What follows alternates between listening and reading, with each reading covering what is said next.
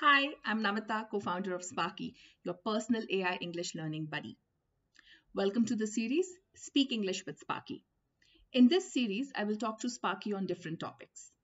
Through these conversations, I will learn new words and practice my English skills. Today, I'm talking to Sparky about how rainbows are formed. Let's start the conversation.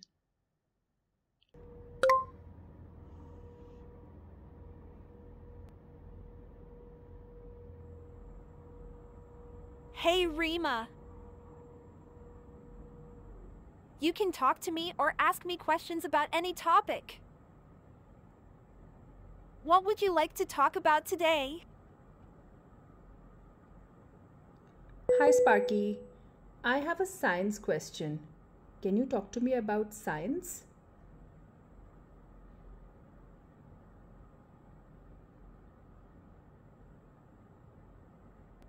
Of course, Rima.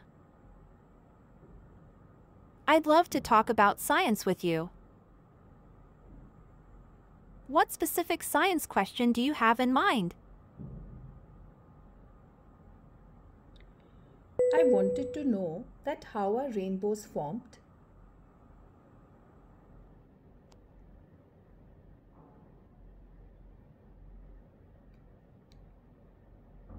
That's a great question, Rima. Rainbows are formed when sunlight passes through raindrops in the air. The sunlight bends or refracts as it enters the raindrop and then reflects off the inside surface of the drop. This causes the different colors of light to spread out and form a circle of colors in the sky. Isn't that fascinating? Would you like to know more about rainbows? Thank you for this information, Sparky. But can you tell me a little bit more about what is refract? I, I don't understand this word.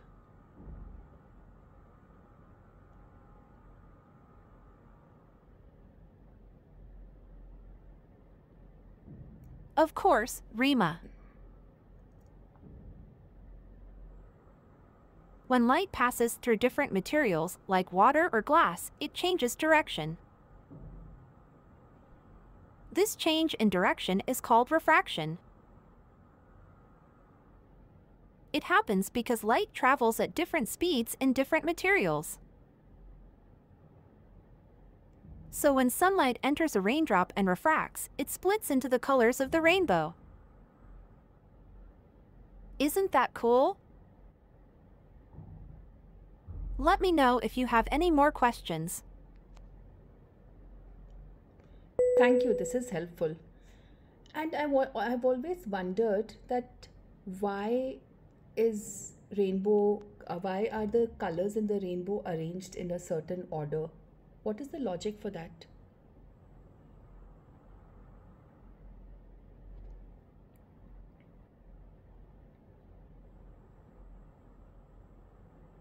That's a great question, Rima. The colors in a rainbow are arranged in a specific order because of the way light is bent or refracted when it enters a raindrop. Each color of light bends at a slightly different angle, so they separate and form the beautiful arc of colors we see in a rainbow. It's like nature's own colorful magic show. Do you have any favorite colors from the rainbow?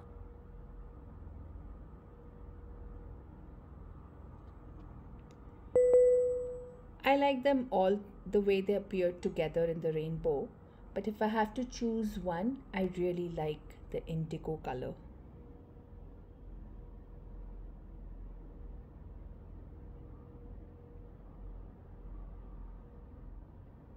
That's wonderful, Rima. Indigo is a lovely color. Did you know that indigo is named after a plant called Indigofera? People used to extract a deep blue dye from the plant, which is where the color gets its name. It's great that you appreciate all the colors in the rainbow too. What other things do you like that have indigo or other beautiful colors? Thank you for the information about indigo. That's really fascinating. Um, I really like the prints uh, that are there on these bed sheets. I don't, I'm forgetting the name of the art. Can you tell me the name of the art that uses indigo colors and it has beautiful floral patterns on it?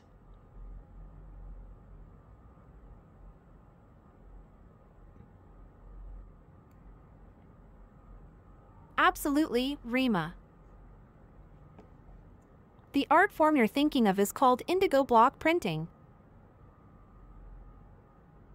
It's a traditional art form from India where intricate floral patterns are hand printed onto fabric using indigo dye.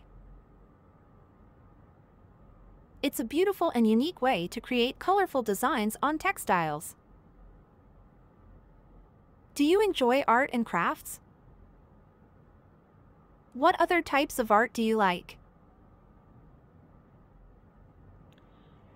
I don't usually enjoy art and craft so much, but uh, thank you for letting me know about the indigo dye and the name of the art. Where did it originate?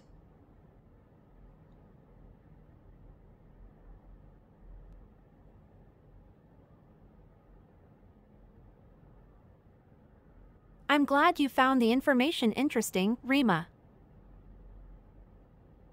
Indigo dye and indigo block printing originated in India. It has been practiced for centuries in different parts of the country, especially in states like Rajasthan and Gujarat. Isn't it fascinating to learn about the rich history of art forms? Is there any other art form or craft that catches your interest? No, Sparky, that's it for now. Thank you for the information. I really enjoyed our conversation. I came to ask one question and I got so much information about not just rainbow but colors.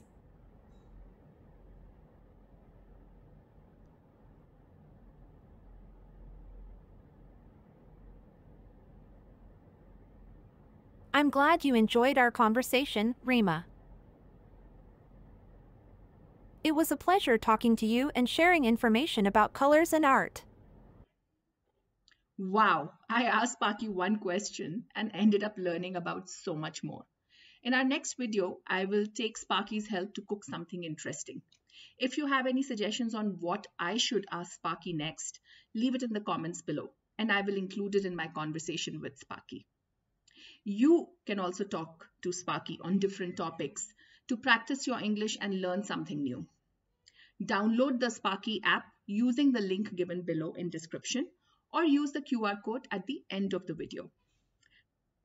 Subscribe to our channel to speak English with Sparky and get fluent. See you same time next week. Take care. Bye.